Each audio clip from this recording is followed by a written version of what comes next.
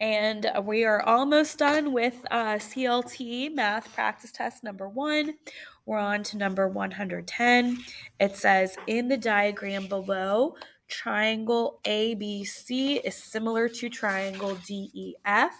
What is the area of triangle DEF? So then we know that um, they're both isosceles triangles and um, their their angle measures would be the same. Um, so if the base here is 8 and the base here is 12, um, we can say, okay, 6 over 8 equals to what over 12? We just set up a real quick um, proportion and um, six and eight are both even numbers. So I'm going to do something here. I'm going to work it backwards and say um, six divided by two is three, and eight divided by two is four. And now four gets to a 12 by multiplying by three, and three times three is nine. So I know that my sides here are nine. And now I can get rid of this. And the area of triangle DEF. So the next thing I need for area of a triangle, um, from the reference sheet, you know that area equals 1 half times base times height. And we got the base is 12. So area equals 1 half times 12 times, now we got to find out that height. So we can um, draw the height. And now we got a right angle triangle in the middle. And our height we'll call x. And our base, if the whole thing across is 12, then this little leg here is 6. So 6 squared plus x squared equals 9 squared. 6 times 6 is 36 plus x squared equals 9 times 9, 81. So x squared equals, um, let's see, uh, 81 minus 36 is going to be 45. So x equals the square root of 45 is fine for now. Um, we might have to simplify that up a little bit in the end. Okay, so square root of 45 is our height, right? Yeah, okay. And um, so I can just take this here. Half of 12 is 6, so I got 6 times the square root of 45 or 6 times the square root of 45 is 9 times 5 and 6 times um, 9 can be written as 3 squared and the square root of 3 squared is just 3 square root of 5 so that's 18 square root of 5. Answer choice T, C is the correct answer.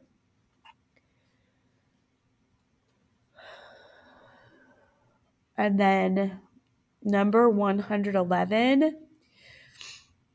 Um, this is a bit of a long question to go through. What is the sum of the solutions of the following equation? for me to solve this, um, I would want to use the um,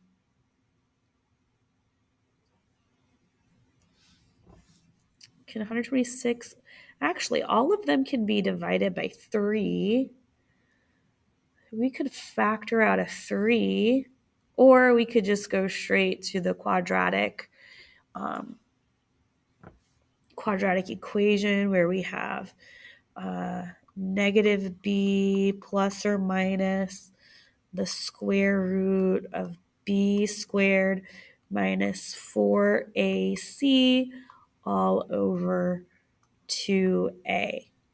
So we can we can just plug in for ax squared plus bx plus c. So we can put that in. Um, curious, what's 126 divided by 3? That's going to be 42.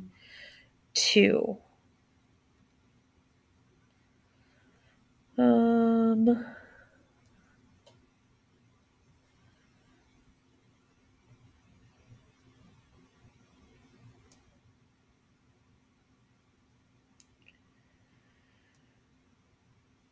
if I factor out a negative 3, it, I think it'll be faster than using the quadratic equation since all of those can be divided by, by 3. So 0 equals negative 3 times x squared minus x and 126 divided by negative 3 would be negative 42. So 0 equals negative 3 times, right? And we're going to factor. And we know we need a x squared and we need a negative 42. And we need these to add up to negative x. So I would say um, that's x um, x minus 7x plus 6 because x times negative 7 would be negative 7 positive 6x which would give us negative x and negative 7 times 6 would give us negative 42 so this would factor out to x minus 7 and x plus 6. So our solutions would be x equals 7 and x equals negative 6. And it asks what is the sum of the solutions? So 7 plus a negative 6 is really just 7 minus 6 is 1.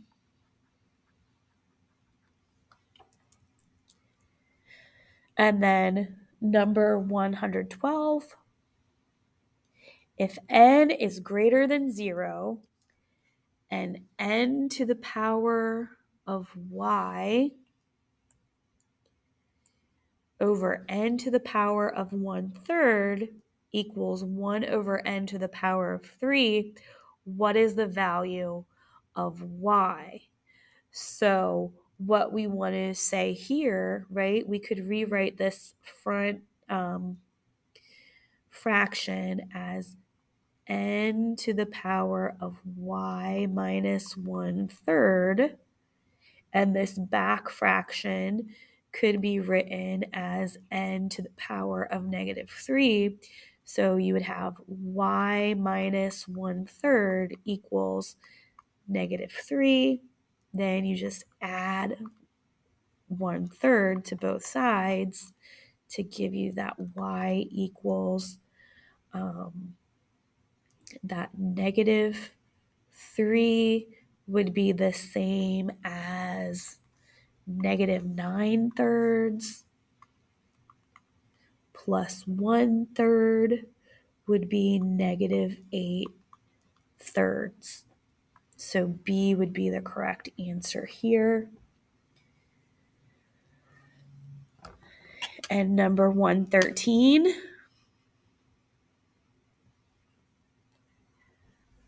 A chemist is preparing a solution of chemical A. She has a beaker filled with two liters of a solution which has 10% A by volume.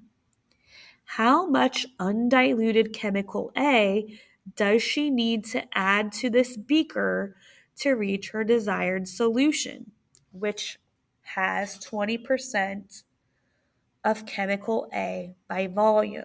So here's our beaker.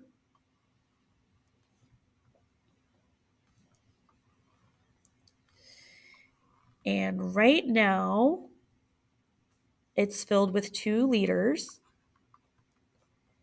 which has 10% chemical A by volume. So 10% of two liters is it has 0. Two um, liters of A right now. And we want to increase, instead of having 10%, we want it to be 20%. So we would like almost double this. We don't want to just add 0.2 because we're adding more more volume than that. So we need something that's just a little bit more than 0.2. So it's going to be 0.25. Right here. Yeah, definitely would not be less. That would be way too much.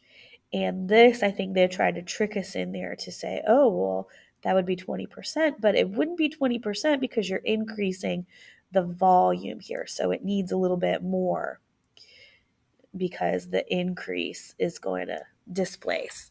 So that's the only one that makes sense.